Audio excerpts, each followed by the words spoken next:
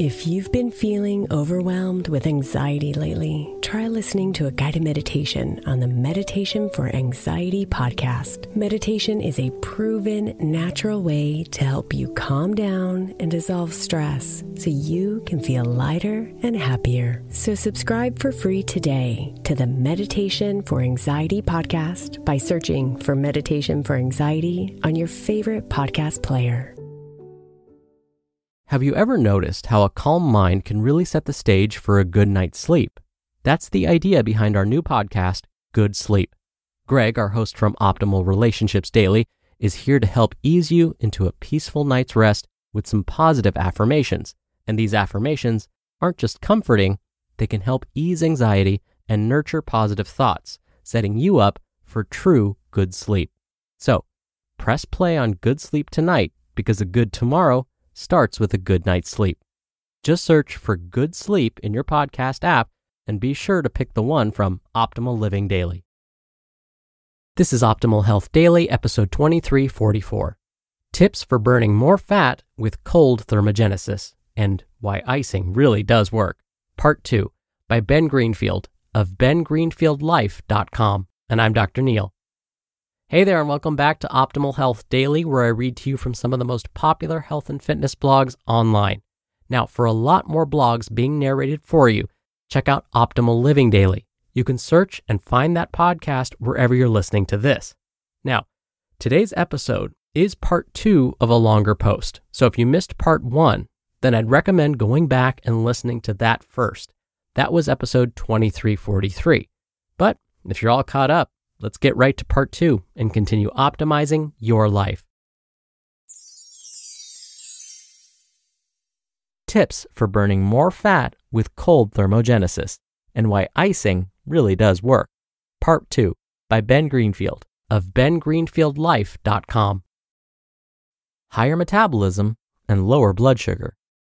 Cold exposure can cause blood glucose to be burned rapidly as fuel to assist in heating the body or stored in muscles to enhance recovery or performance. Before that, blood sugar can potentially be converted to fat via the liver.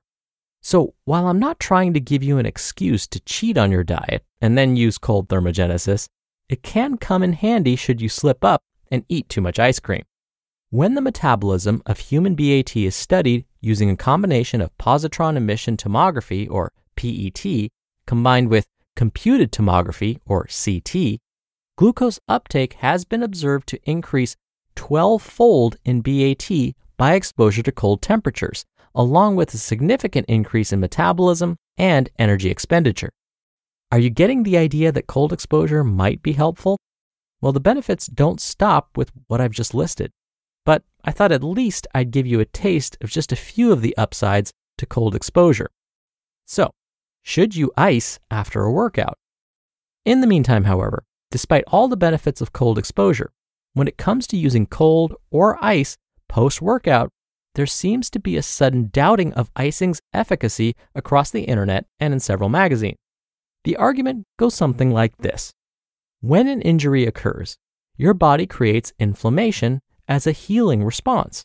So, if inflammation is the body's natural way to heal an injury, why would you want to block this inflammatory process with ice? I have a more comprehensive response to this argument against ice. In fact, it's forthcoming in Lava magazine. But let me give you four good reasons why, in addition to the cold thermogenesis benefits I described earlier, you actually should ice after a long or especially hard workout, and why I wear my tight, stretchy, geeky pants post hard run or bike ride filled with ice. 1. Ice does not completely reduce inflammation based swelling but ice can prevent excessive swelling after the initial injury occurs. While some swelling certainly does have important healing components, such as white blood cells and other chemicals that are involved in the healing process migrating into damaged tissues through increased vascular permeability, it also physically protects an injured area by decreasing its potential range of motion. And so there is no physiological reason to allow swelling to freely progress for hours or days after an injury occurs, especially if you're smart enough to have ice around. In fact, prevention of excessive swelling is important because the fluid that has escaped into the tissues from excessive swelling can create a low oxygen environment, also known as a hypoxic environment, that can then lead to additional tissue damage and delay healing. In addition, swelling can cause distension in joint capsules and other tissues, and excitation of nervous system components called mechanoreceptors, which can increase pain. Ice simply reduces this effect by causing vasoconstriction, or shrinking of blood vessels, around the vasculature surrounding an injury. 2. The cold temperature of ice can slow down nerve conduction velocity and shut down the activation of your muscle spindles, making it a highly effective pain reliever and muscle relaxant. If a muscle is in less pain and is more relaxed, then mobilization and movement become a reality, and a return to functional training status can occur much more quickly, which can limit muscle atrophy or loss of fitness. 3.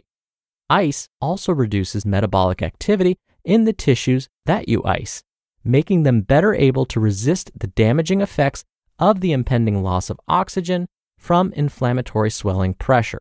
In other words, lower tissue temperatures from icing mean less oxygen is required by your muscles to sustain their integrity. 4. Finally, as you learned in point 1, ice causes vasoconstriction or shrinking of blood vessels. But unless you're in extreme conditions where you must shuttle blood to your brain and vital organs to survive, your body will avoid tissue death by not allowing the body part you're icing to cool excessively. Through a process called reactive vasodilation, also known as the Hunting reflex or Lewis reflex, your vessels, while being exposed to cold, create a negative pressure in the capillary system, which causes pumping of inflammatory and metabolic byproducts out of an injured area, while allowing additional healing components such as macrophages and white blood cells to mobilize in the area. When combined with pressure and elevation, this pumping action of ice can be an extremely effective rehabilitation tool.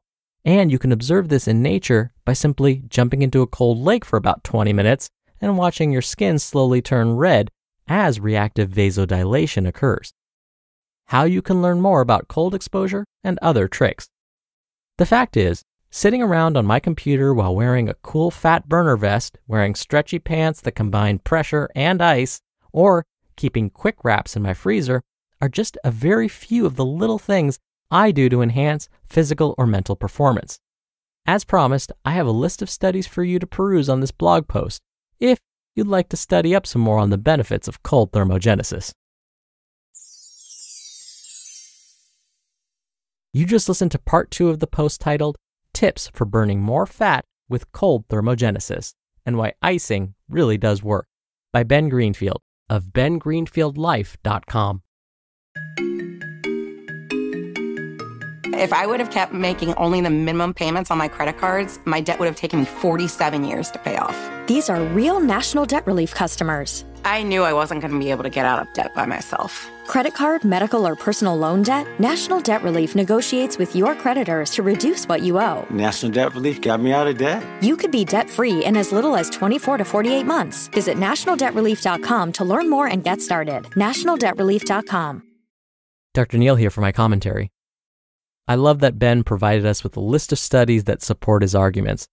We always need to look at well designed studies to know whether a recommendation is evidence based or simply just anecdotal, meaning it worked for them or just their friends, but there aren't studies showing whether it truly works. But we have to be careful because even with studies, we always want to make sure we ask ourselves whether this behavior is right for us. There are some studies that show dunking yourself in an ice bath after a particularly grueling workout may increase free radical production in the body. Free radicals are potentially harmful compounds, and they're believed to increase our risk for a number of diseases like cancer, dementia, and even premature aging. Now, we do need more studies to explore this idea of free radical production in ice baths after a workout. Because how does that jive with all the evidence that Ben presented? Well, it just means we probably need more time to research all of this. But in the meantime, if you and your doctor decide that exposing your body to cold more often is a good idea, then by all means, give it a try and see if it helps. If, based on you and your doctor's assessment of cold thermogenesis and whether it's right for you, you both decide that it's more likely to provide you with benefits than harms, then again, by all means, try it out. All right. Thank you so much for being here. Thank you for listening every day. I hope you have a wonderful rest of your day, and I'll see you back here tomorrow where your optimal life awaits.